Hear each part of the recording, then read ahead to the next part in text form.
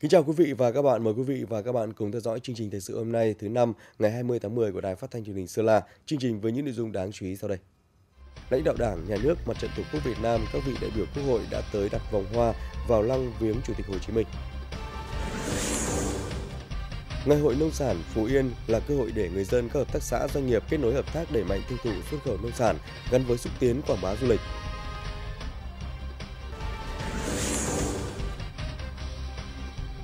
Nhiều hoạt động thiết thực ý nghĩa kỷ niệm 92 năm ngày thành lập Hội Liên hiệp Phụ nữ Việt Nam 20 tháng 10 năm 1930, 20 tháng 10 năm 2022.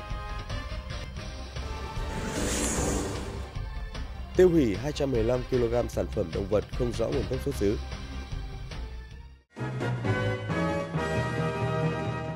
Sau đây là dung chi tiết. Sáng nay, ngày 20 tháng 10, trước giờ khai mạc kỳ họp thứ tư Quốc hội khóa 15, lãnh đạo Đảng, Nhà nước, Mặt trận Tổ quốc Việt Nam, các vị đại biểu Quốc hội đã tới đặt vòng hoa vào lăng viếng Chủ tịch Hồ Chí Minh. Dự lễ viếng có các đồng chí Ủy viên Bộ Chính trị, Chủ tịch nước Nguyễn Xuân Phúc, Thủ tướng Chính phủ Phạm Minh Chính, Chủ tịch Quốc hội Vương Đình Huệ, các đồng chí lãnh đạo Đảng, Nhà nước, các đại biểu Quốc hội. Vòng hoa của đoàn mang dòng chữ Đời đời nhớ ơn Chủ tịch Hồ Chí Minh vĩ đại các đại biểu đã kính cẩn nghiêng mình trước anh linh Chủ tịch Hồ Chí Minh, người con ưu tú của dân tộc Việt Nam, tưởng nhớ công lao vĩ đại của người đối với sự nghiệp đấu tranh giải phóng dân tộc vì nền độc lập tự do của Tổ quốc, vì hạnh phúc của nhân dân. Người đã ban hành những sắc lệnh đầu tiên về tổng tuyển cử để làm cơ sở pháp lý mang tính nền tảng của một chế độ bầu cử tự do, thực sự dân chủ. Suốt chặng đường 76 năm hình thành và phát triển, Quốc hội đã luôn đồng hành cùng dân tộc, là hiện thân của khối đại đoàn kết toàn dân tộc, hoàn thành trọng trách là cơ quan đại diện cao nhất của nhân dân với những đóng góp to lớn quan trọng trong sự nghiệp cách mạng của đất nước. Văn phòng Chính phủ vừa có công văn số 7048 truyền đạt ý kiến của Thủ tướng Chính phủ Phạm Minh Chính liên quan đến tình hình thị trường xăng dầu. Cụ thể, những ngày gần đây có hiện tượng một số doanh nghiệp kinh doanh bán lẻ xăng dầu đóng cửa hoặc tạm ngừng kinh doanh tập trung tại một số tỉnh thành phố phía Nam như thành phố Hồ Chí Minh, Cần Thơ, An Giang, Bình Phước, Đắk Lắk. Việc này không chỉ ảnh hưởng đến đời sống người dân mà còn ảnh hưởng đến hoạt động sản xuất kinh doanh. Về vấn đề này, Thủ tướng Chính phủ Phạm Minh Chính giao Bộ trưởng Bộ Công Thương quan tâm chỉ đạo ổn định tình hình thị trường xăng dầu, nhất là các cửa hàng bán xăng, không để bất ổn tình hình. Nhất là trong bối cảnh thị trường xăng dầu thế giới tiếp tục diễn biến phức tạp, nguồn cung không ổn định, giá biến động với biên độ lớn và thường xuyên. Hiện có khoảng hơn 200 cửa hàng đóng cửa đã gây ảnh hưởng lớn đến tâm lý và đời sống sinh hoạt của người dân. Trước tình trạng trên, Bộ Công Thương với vai trò là cơ quan được chính phủ giao thẩm quyền quản lý nhà nước đối với mặt hàng xăng dầu, cần chủ động bám sát tình hình thực tiễn, diễn biến thị trường, khẩn trương triển khai các biện pháp kiểm tra, giám sát, kịp thời ngăn chặn, xử lý nghiêm theo quy định pháp luật đối với các hành vi đầu cơ găm hàng, buôn lậu xăng dầu và các hành vi vi phạm khác trong kinh doanh xăng dầu. Đồng thời khuyến khích tạo điều kiện cho các doanh nghiệp duy trì hoạt động sản xuất kinh doanh, bảo đảm nguồn cung xăng dầu và an ninh năng lượng quốc gia. Nằm trong chương trình kỷ niệm 70 năm ngày giải phóng Phú Yên là các trại văn hóa của các xã thị trấn trên địa bàn huyện. Nhiều mặt hàng nông sản đặc trưng nhất đã được đưa đến đây để giới thiệu quảng bá hình ảnh kết nối thị trường tiêu thụ. Nhiều du khách cũng đã đến thưởng thức và đánh giá cao về chất lượng, mẫu mã các sản phẩm. Gạo hữu cơ, chuối, gừng cho đến các mặt hàng thổ cẩm như đệm, chăn đã được các xã thị trấn, hợp tác xã mang đến trưng bày tại các trại văn hóa. Thực tế, nhiều sản phẩm, đặc biệt là nông sản đã có sự thay đổi rất lớn về chất lượng cũng như hình thức. Điều đó đã tạo được ấn tượng sâu sắc cho du khách khi đến tham quan trải nghiệm. Nông sản ở đây tôi đã được thưởng thức rất nhiều. À, vịt đặc sản của mường à, Bang này, gạo đặc sản của mường Lang này. Và hôm nay là thưởng thức cái món đặc sản của mường Do rồi các cái gian hàng ở đây và tôi thấy là đây là một cái địa phương có tiềm năng về phát triển nông nghiệp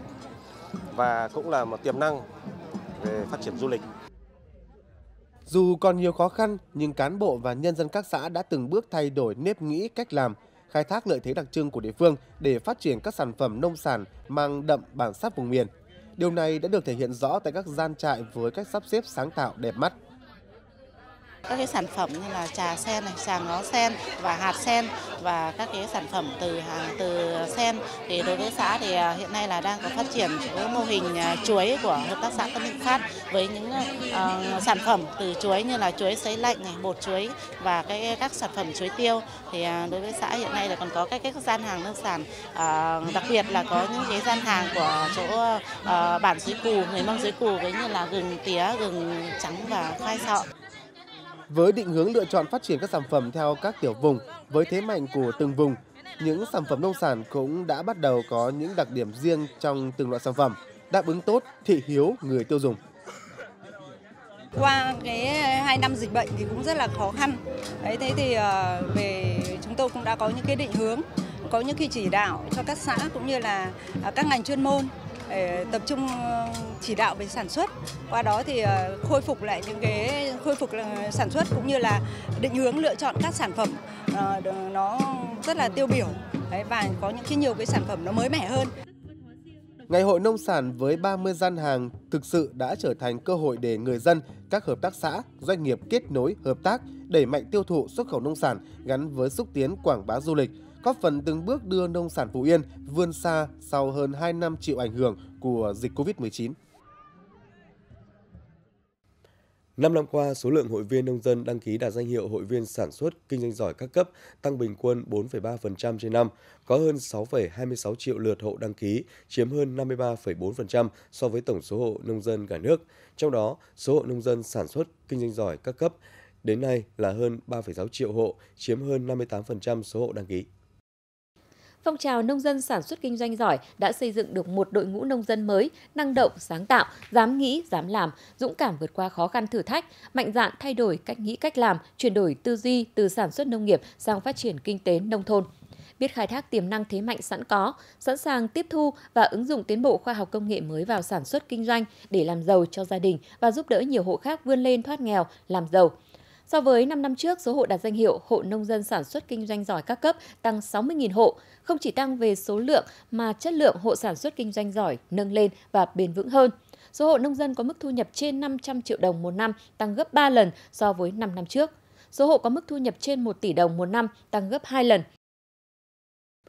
Lãnh đạo huyện ủy Mộc Châu đã đi thực địa kiểm tra việc thực hiện nghị quyết 09 của huyện ủy Mộc Châu về phát triển kinh tế xã hội, bảo đảm quốc phòng an ninh, củng cố hệ thống chính trị, 10 bản biên giới phức tạp về an ninh trật tự của huyện Mộc Châu giai đoạn 2022-2025. Qua kiểm tra thực tế tại một số bản cho thấy, đến thời điểm hiện tại, các cơ quan đơn vị được phân công phụ trách các bản đã chủ động xây dựng, ban hành các văn bản hướng dẫn các xã triển khai thực hiện các chỉ tiêu phát triển kinh tế xã hội, đảm bảo quốc phòng an ninh, đã hỗ trợ xây dựng được 10 mô hình phát triển nông nghiệp, trong đó có 2 mô hình kiểu mẫu với tổng số tiền trên 600 triệu đồng, hỗ trợ làm trên 70 chuồng chăn nuôi bò, phê duyệt hỗ trợ gần 30.000 cây giống, gần 27.000 tấn phân bón. Các cơ quan đơn vị phụ trách đã chủ động phối hợp với các xã đẩy mạnh thực hiện các tiêu chí xây dựng nông thôn mới theo Bộ Tiêu chí giai đoạn 2021-2025, trong đó đã hoàn thành và đưa vào sử dụng 3,5 km đường giao thông nông thôn với tổng mức đầu tư trên 6,2 tỷ đồng. Bên cạnh đó, các cơ quan đơn vị phụ trách cũng thường xuyên phối hợp triển khai đồng bộ công tác biên phòng, giữ gìn an ninh trật tự khu vực biên giới. Lãnh đạo huyện ủy Mộc Châu đề nghị các cơ quan đơn vị được giao phụ trách và các địa phương tiếp tục giả soát diện tích cây trồng để ứng dụng khoa học vào sản xuất, mang lại kết quả cao, quan tâm đầu tư các mô hình nông nghiệp để nhân rộng, tập trung nguồn lực thực hiện các tiêu chí xây dựng nông thôn mới, nhất là xây dựng cơ sở hạ tầng, nâng cao tinh thần trách nhiệm của các chi đảng bộ, các cơ quan đơn vị trong công tác xóa đói giảm nghèo, Phấn đấu đến cuối năm nay, tỷ lệ hộ nghèo của 10 bản biên giới giảm còn 27,7%. Đoàn công tác của Sở Tài nguyên và Môi trường đã có buổi làm việc với Ủy ban Nhân dân huyện Bắc Yên về công tác xóa nhà tạm cho 67 hộ trên địa bàn huyện. Hiện nay, huyện Bắc Yên đang triển khai thực hiện với tổng kinh phí là 4 tỷ 30 triệu đồng, trong đó nguồn hỗ trợ xã hội hóa 2 tỷ 680 triệu đồng, đối ứng của hộ dân 1 tỷ 410 triệu đồng. Để đảm bảo tiến độ đến ngày 30 tháng 11 năm 2022 hoàn thành công tác xóa nhà tạm, huyện Bắc Yên sẽ chủ động tháo gỡ những khó khăn vướng mắc để có các giải pháp kịp thời. Trước đó, đoàn công tác đã tiến hành kiểm tra thực tế tiến độ triển khai công tác xóa nhà tạm và thăm hỏi đối với cụ Hà Thị In, sinh năm 1945 tại tiểu khu phiên ban 2, thị trấn Bắc Yên, là người già tàn tật neo đơn, hỗ trợ cụ 2 triệu đồng tiền mặt.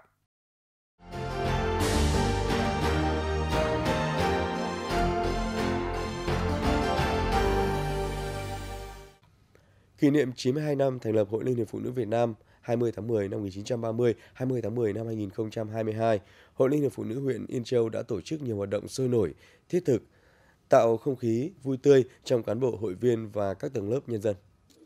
Tại hội nghị biểu dương chi hội trưởng tiêu biểu hợp tác xã do nữ làm giám đốc, các mô hình câu lạc bộ hoạt động hiệu quả giai đoạn 2020-2022.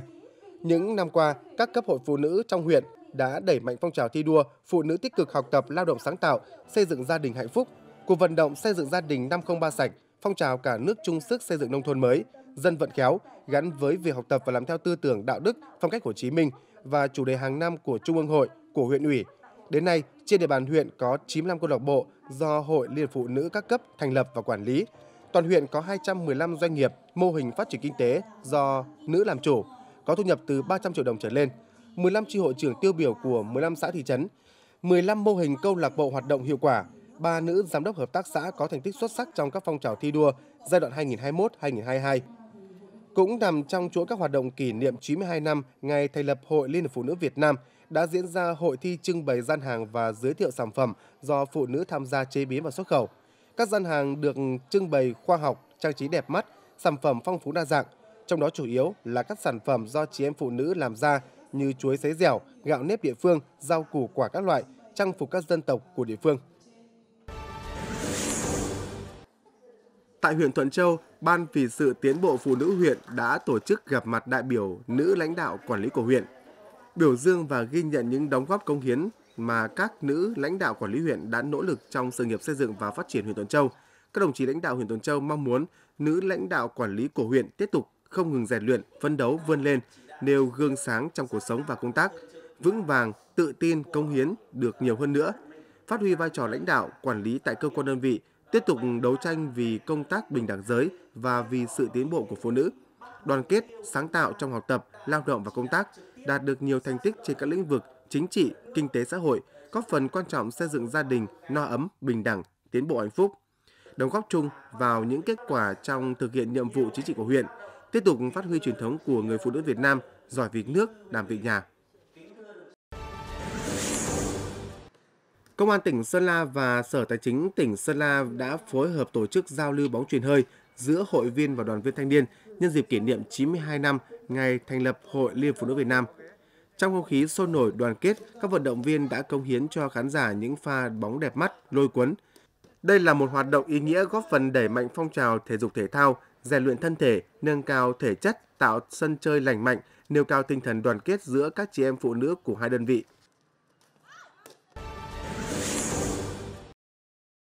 Tại huyện Mường La, giải bóng truyền hơi nữ do Hội Liên hiệp Phụ nữ huyện, Ban vì sự tiến bộ của phụ nữ huyện Mường La phối hợp tổ chức là một trong những hoạt động thiết thực chào mừng kỷ niệm 92 năm ngày thành lập Hội Liên hiệp Phụ nữ Việt Nam.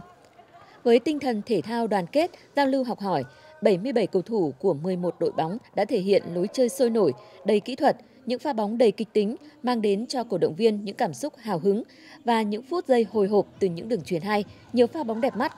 Thông qua hoạt động này cũng góp phần đẩy mạnh phong trào rèn luyện thân thể theo gương Bác Hồ vĩ đại, thường xuyên tập luyện và thi đấu các môn thể thao để nâng cao sức khỏe, phát triển thể chất, góp phần vào sự nghiệp xây dựng, phát triển kinh tế của địa phương.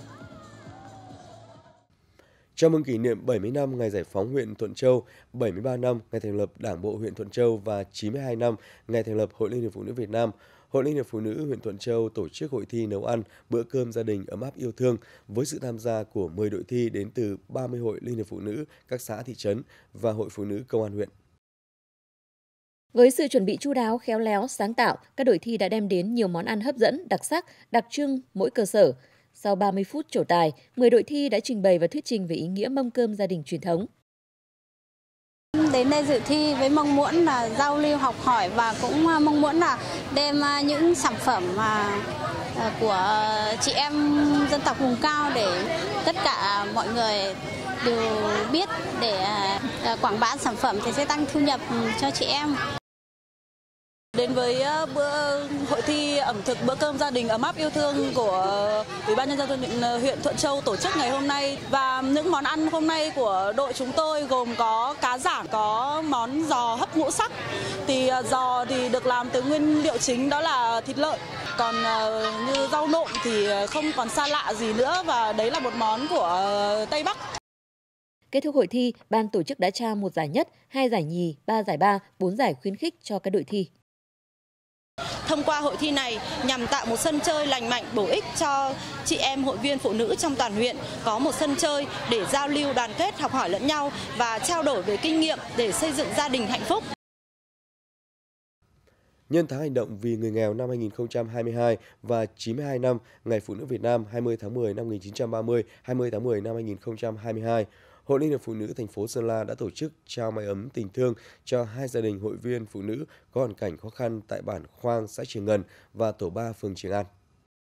Mái ấm tình thương được trao có diện tích từ 50 m2 đến 70 m2, tường xây, mái lợp tôn, có đủ bếp và công trình phụ. Kinh phí xây dựng mỗi nhà trị giá trên 120 triệu đồng. Trong đó Hội Liên hiệp Phụ nữ tỉnh và thành phố hỗ trợ mỗi căn 20 triệu đồng. Số tiền còn lại là cấp ủy chính quyền cơ sở và họ hàng giúp đỡ bằng ngày công, vật liệu xây dựng.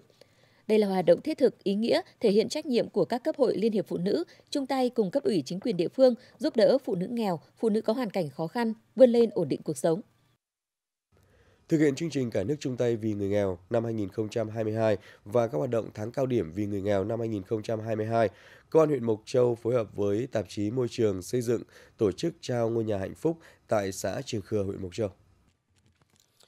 Ngôi nhà hạnh phúc đã được trao cho gia đình anh Lò Văn Phụ ở bản Cang, xã Trường Khừa, huyện Mộc Châu, thuộc diện hộ nghèo có hoàn cảnh đặc biệt khó khăn, đang ở nhà rột nát. Công an huyện Mộc Châu đã kêu gọi và kết nối với các mạnh thường quân cùng các nhà tài trợ để hỗ trợ triển khai xây dựng ngôi nhà hạnh phúc. Trong đó, tạp chí môi trường xây dựng hỗ trợ 50 triệu đồng, lực lượng công an và nhân dân trong bản hỗ trợ ngày công trị giá 20 triệu đồng. Phần còn lại được anh em họ hàng giúp đỡ với tổng kinh phí xây dựng 80 triệu đồng.